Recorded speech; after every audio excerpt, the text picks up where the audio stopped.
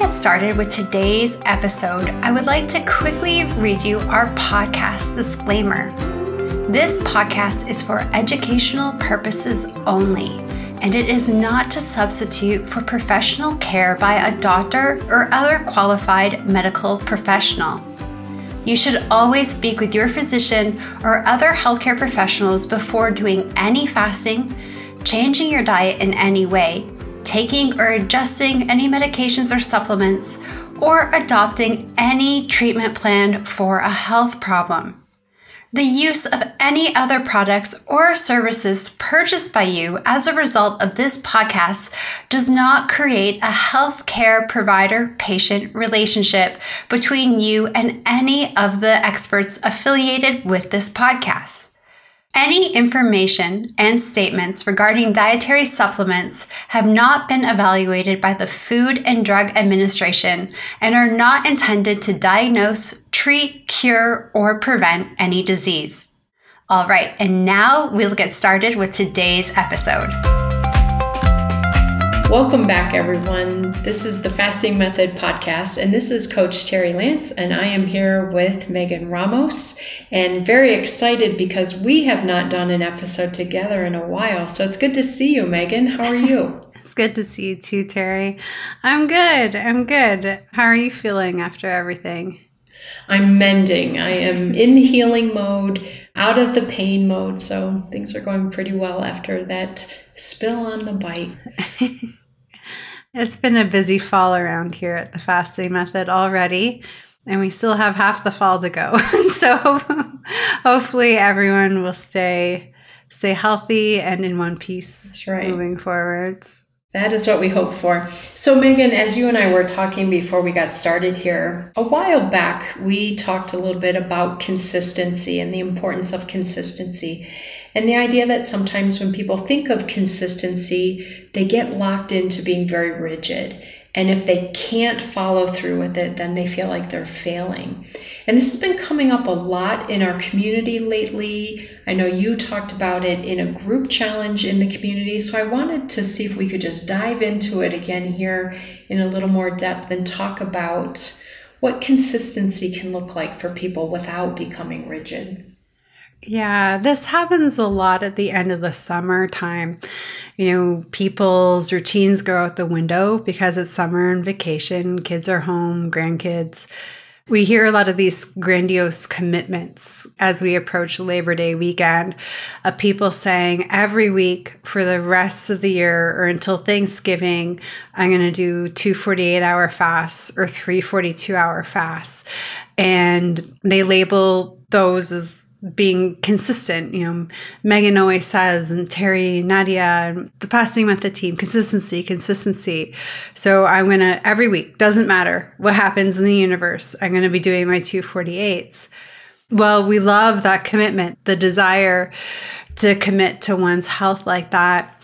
You know, it's important to understand that there are things that do affect our physical ability to actually fast and it's outside of our control. And our bodies always can't do what our brains do. So, as I'm starting to watch this unfold at the end of this past summer, I thought, okay, like, how do we help our community not get stuck in that cycle again? And it, I think it's something that as coaches always try to put our heads together at this particular time of year. We also see it again in January at the same type of thought process coming out of the December holidays. It reminded me that earlier in this year, in one of our community meetings, a member named Olga had shared in the meeting that in her quest to become consistent, she set some rules for herself to adhere to this consistency. So her goal was that every other day she was to do one of the following. If she was feeling totally up to it, she would do a 42 hour fast. If she was having more of a physical struggle with fasting, she would do a 24 hour fast. And if she was really struggling, having poor sleep, having stress, she would commit to a fat fast. All three are therapeutic approaches. But she realized that she had to give herself that flexibility and then had to commit to doing it on a regular basis and that's what she had struggled with in the past was you know sometimes you say okay i'm going to fat fast. How long do you need to fat fast for? It can get murky. Then you might end up fat fasting for a little while and not quite sure when to start your fast again. So she just decided every other day she was going to wake up and assess how she felt and what was going on that day and make a decision and another thing that came about in that discussion was just also that ability to have that fat fast day in case it fell on a Saturday or on a Sunday when she would be home with family or friends, there'd be a social event. She could always pivot and have a fat fasting type of meal and still stick with her schedule. I loved this approach when I heard about it, and our community members lovingly nicknamed it the Rolling Olgas. And, um, you know, this actually at the time spread like wildfire in our community. And I remember it helping so many people at the beginning of the year.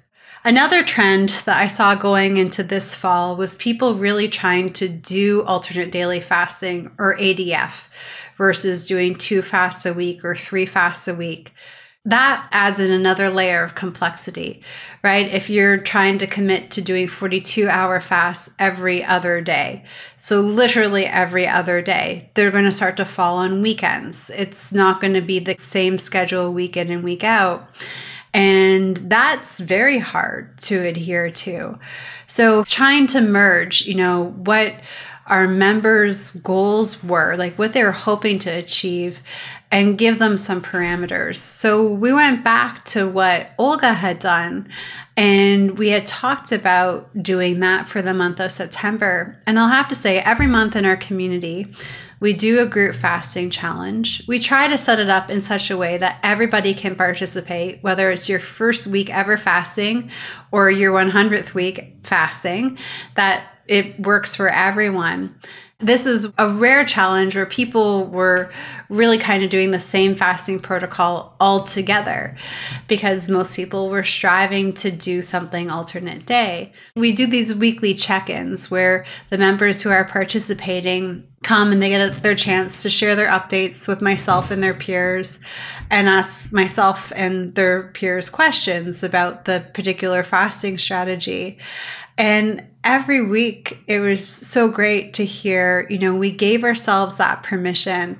So instead of having an eating day, we did a fat fast. You know, instead of not fasting, we knew we could push through with a 24. When we felt good, we did 42s. And as the month progressed, people were reporting, you know, coming out of weight loss stalls that have lasted for months, if not all of 2023 other metabolic health improvements. And it was just so rewarding to see. And then also to get them to really understand that, okay, wait, success doesn't have to look like doing a 42 hour fast every other day or three times a week.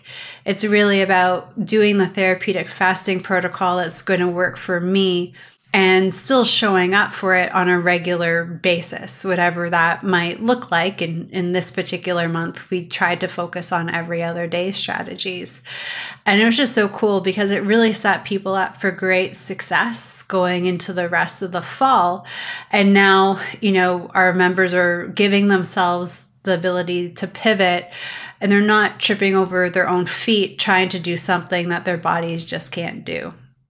One of the reasons I think this was so powerful, Megan, is that it really goes back to that old saying success begets success.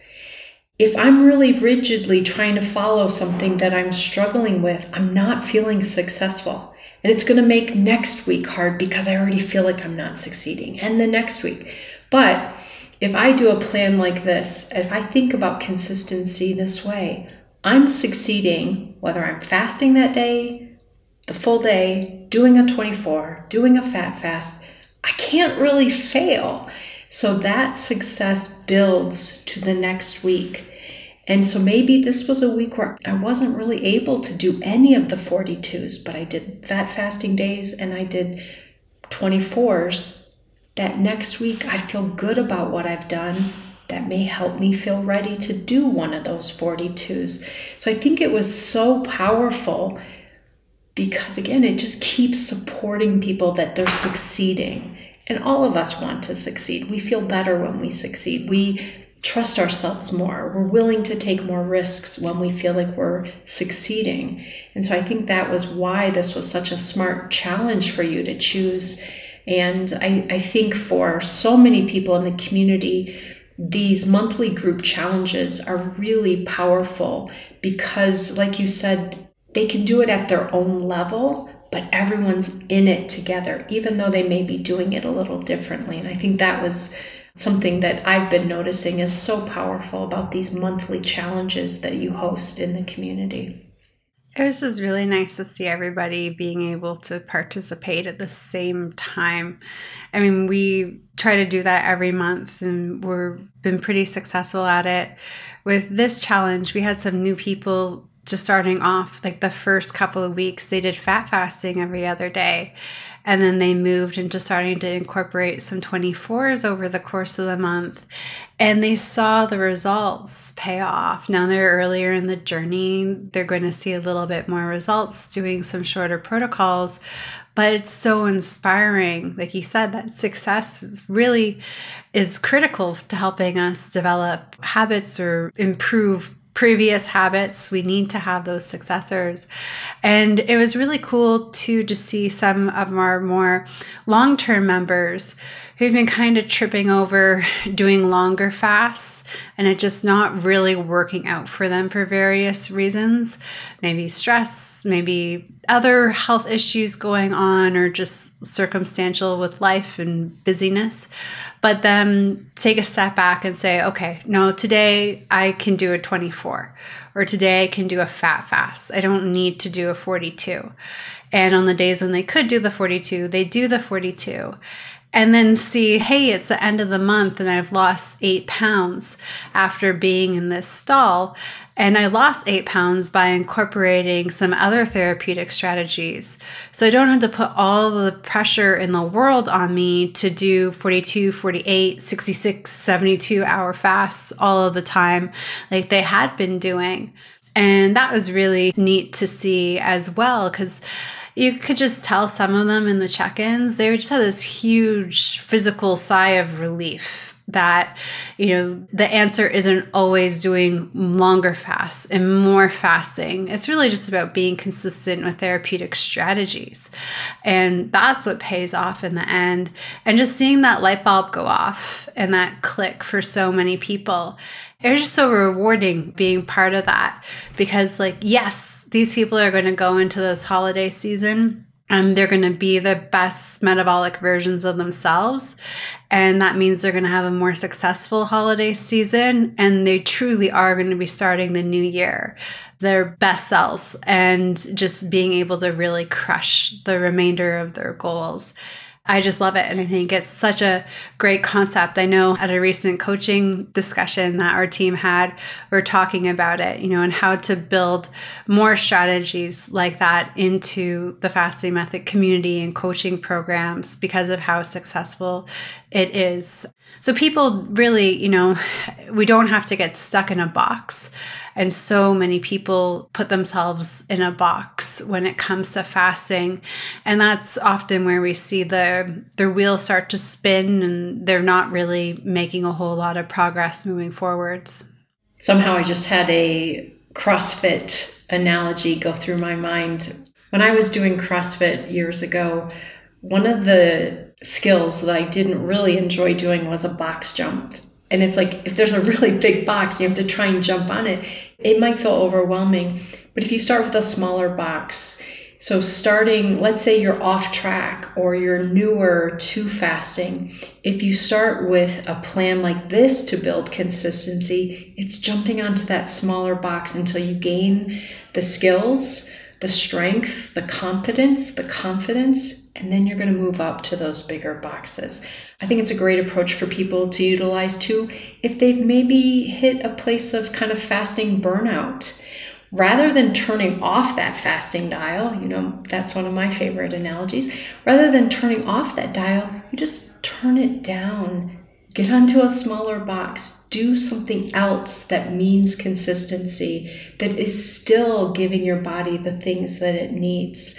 This is one of those times where, after the fact, I look at it and I think, dang, Megan really knew what she was doing by choosing that because it's been so valuable for all of us, mindset wise, and like you said, physically to feel that success and to learn that we can adjust rather than just hit the nail harder, harder, harder, that we can really adjust it for ourselves. So um, I think this has been a great thing. And I hope people will use it moving forward, coming back from a vacation, coming out of these next holidays that we're coming into, different seasons of the year, different life stressors.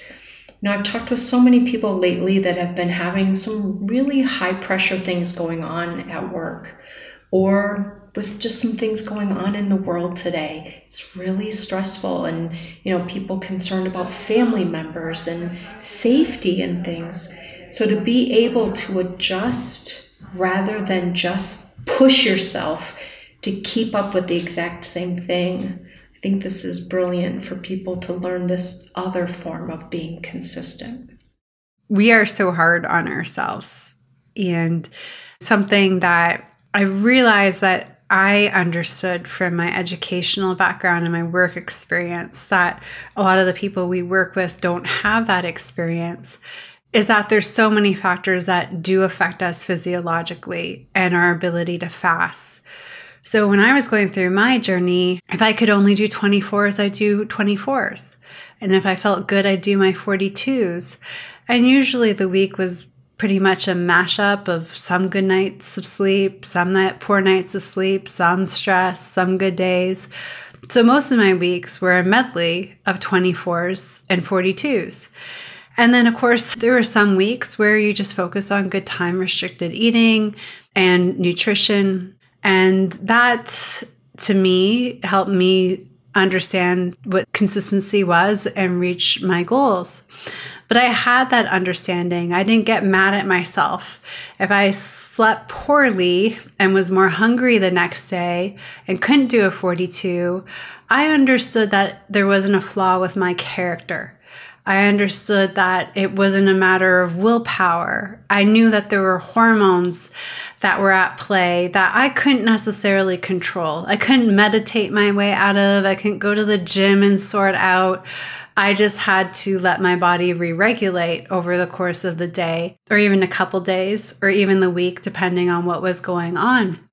And then when we started doing fasting with other individuals who just didn't have this medical background, I saw how hard it was for them because they all took it as a sign of lack of willpower or a character flaw or something that they weren't going to be successful with.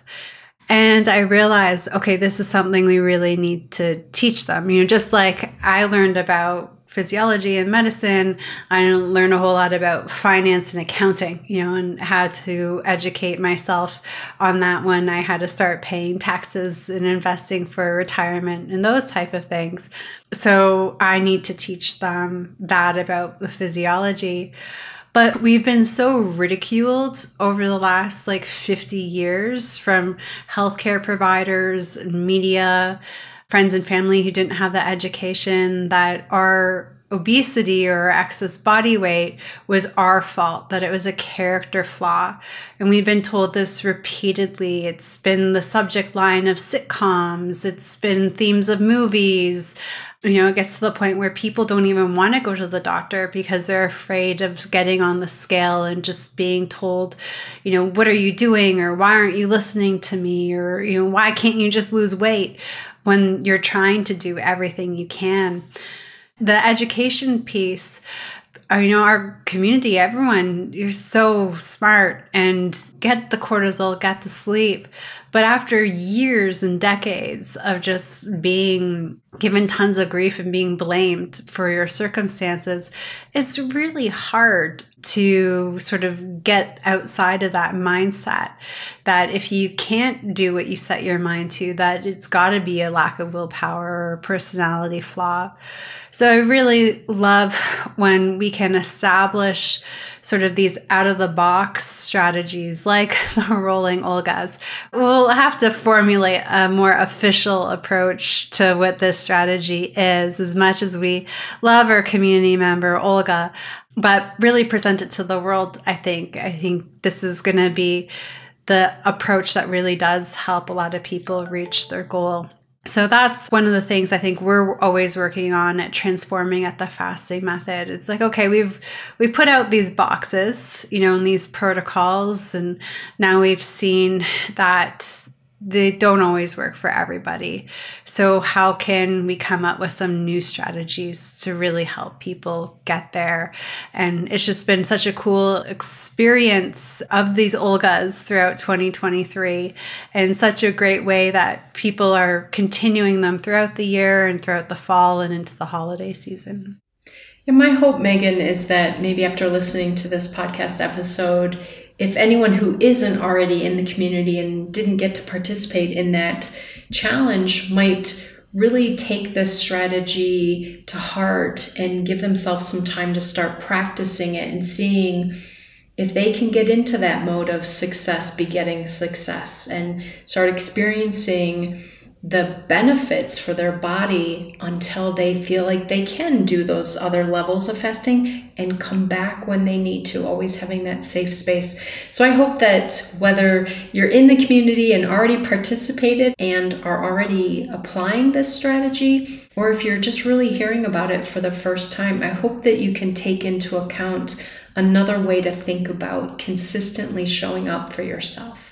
It's a strategy we're definitely going to come back to in the group challenges, and we're actively working on some variations of it so we can do them in more group challenges as we wrap up this year and move into next year. Because I think teaching this particular skill set is going to be so again critical for helping people. And i just know that the next year you know you can really crush it with your goals everybody. It's just so amazing what we see every day what we've all personally experienced but sort of learning some of these nuances and how to navigate them. And this Olga strategy has been so eye opening for us. And I look forward to sharing some of the new strategies we've been working on with people in the community and through our coaching program in the months to come because it's really exciting. I think we're going to see a lot of health optimization and a lot of people coming off of insulin and melting away the body fat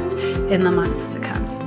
Well, thanks everyone for being here. We will be back with another episode next week and our bite sized episodes. So take good care, everybody, and happy fasting. Bye, everyone.